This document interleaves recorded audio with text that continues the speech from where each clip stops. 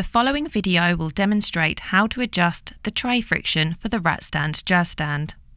You should follow these instructions if your jazz stand tray is too stiff or too loose. Please note, if the tray friction is too tight and the tray becomes stiff, the back of the tray can break. This is not repairable.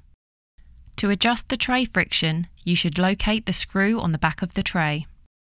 Using a 4mm Allen key, you can turn the screw to the left to loosen the friction or to the right to tighten the friction of the tray.